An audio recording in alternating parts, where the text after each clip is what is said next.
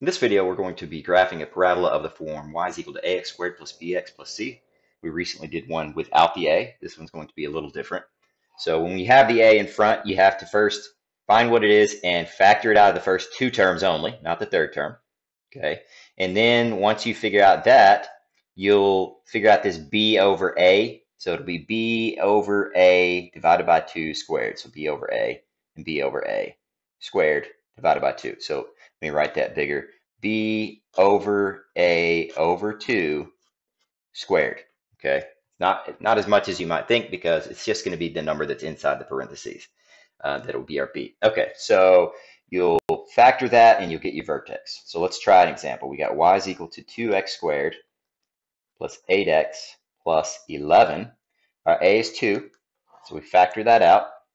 y is equal to 2 times x squared plus 4x and then plus 11. Now, this is the number you're going to, to complete the square with right here. This number right here. So you divide 4 by 2 and square to get 2 squared, which is 4. Okay, that's the number we're going to add here and subtract over here. Okay, so you get y is equal to 2 times x squared plus 4x plus 4. That should that should uh, result in a perfect square after you factor it. And then plus 11. And now we need to do this step where it says subtract the a times that thing. So we subtract subtract this times the a. So minus 2 times the thing that we added, which was a 4. So 2 times this got added, and then 2 times this got subtracted. Okay, so that would be y is equal to 2 times, let's factor that, it's x plus 2 it's a perfect square. 2 times 2 equals 4. 2 plus 2 equals 4. And then this would be 11 minus 8, which would be 3. So our vertex is equal to, remember it's the opposite sign of this and the same sign as that. So negative 2 comma 3. Okay, so there's our vertex of the first one. So let me write that over here. It was negative 2 comma 3. Okay, we can go there on the graph, negative 2 on the x, 3 on the y, that's here. Okay, our a is equal to 2. That means our 3a is equal to 6. Are we opening up or down? Well, this number is positive, so smiley face. Okay, and now let's follow the steps. So over 1, up, a, a was 2, right? Over 1, up 2, over 1, up 2. Forget that little point there. And then over 1, up 6. 1, 2, 3, 4, 5, 6. It's up here. One, two, three, four, five, six. It's up here. And we got the graph of the parabola. Okay, let's take a look at the next one. So this one looks like our A is going to be a negative, right? So let's write it down real quick. So y is equal to negative 3x squared plus 18x minus 22 our a is negative 3. Okay, so we factor that out of the first two terms. Negative 3 factors out, and you get x squared. Let's see, what is 18 divided by negative 3? Negative 6x. Okay, and then minus 22. And now we take this number right here, divide it by 2 and square it. So negative 6 divided by 2 squared. And that would be negative 3 squared.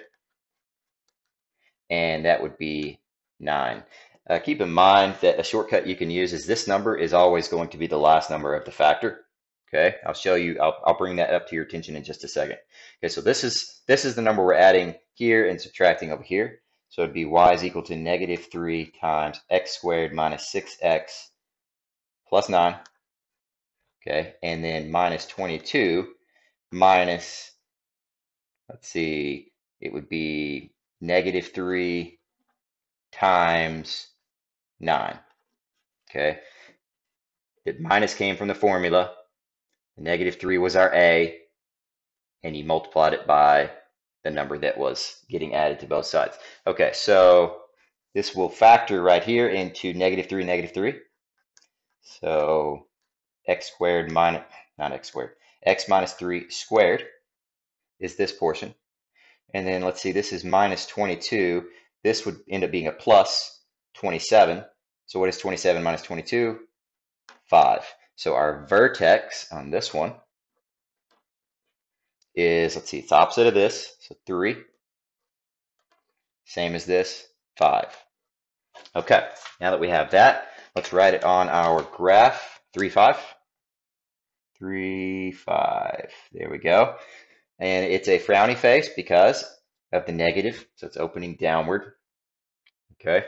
Our A was negative 3, so our 3A is negative 9. Okay, so let's start. Um, over 1, and since the A is negative, we'll go down 3. Same on the other side. And then over 1, down 9. 1, 2, 3, 4, 5, 6, 7, 8, 9. And that would be right here on the other side. And there's our parabola.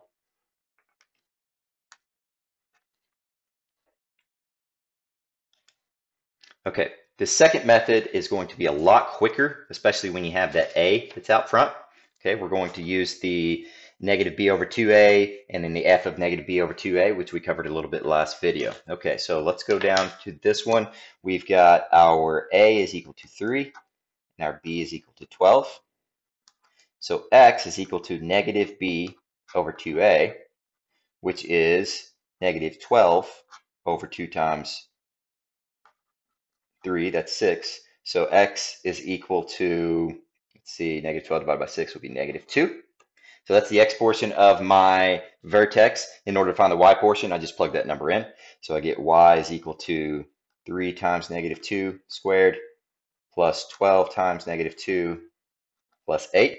Let's work that out real quick. So this gets squared first. That's 4 times 3 is 12. That's negative 24. And that's plus 8. Let's see, that'll be 20 minus 24. That will be negative 4. Okay, so our vertex, back up here, it's, let's see, the x was negative 2 and the y was negative 4. So vertex, negative 2, negative 4. All right, so we go to negative 2, negative 4. Um, let's choose a different color. Uh, negative 2, negative 4 would be here. And is the A positive or negative? It's positive, so smiley face, it's opening upward. And if our a is equal to 3, that means our 3a is equal to 9. All right, 1 over 3 up. And then 1 over 9 up. 1, 2, 3, 4, 5, 6, 7, 8, 9.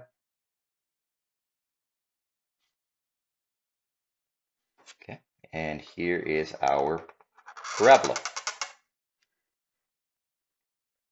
Okay, let's do this last one here. So First thing we need to do is identify our A, which is negative 2, and our B, which is negative 8. I'm going to use x is equal to negative b over 2a to figure out the x portion of my vertex, which is negative, that's already negative 2, so negative negative 8. And then divided by 2 times negative 2. So the top would be positive, the bottom would be negative, so 8 over negative 4 is negative 2. So the x portion of my vertex is negative 2. I'll write that up here. Vertex. Negative 2 is the first part. Now let's plug that into the function and get the other part. So um, y is equal to 2 times negative 2 squared minus 8 times negative 2 minus 9. So y is equal to, this would be 4 times 2 is 8. Uh, that would be 16 positive because it's two negatives. And minus 9, so that looks like it would be 15. 15 is the y coordinate of our vertex, so we go write that here. Okay, let me check that math real quick to make sure it works out and it does not because I missed a negative sign right here. That should have been negative as the equation stated. So this will be a negative 8. Okay, so this is not going to be 15, which is good because that would have been off of our little graph there. Um, okay, so this is negative 17, this is 16, so it's negative 1. So y is equal to negative 1. Okay, so let's change our vertex here. It will be 2, comma, negative 1. Okay, so we go to 2, negative 1. It's opening downward because it's negative out front. So let's give it a little frowny face there. Our A is negative 2, so our 3A is negative 6. And let's begin to graph. Okay, so over 1 down 2 because our A is negative 2. And then over 1 down 6. 1, 2, 3, 4, 5, 6. and 6. And here is our last parabola. And that's it.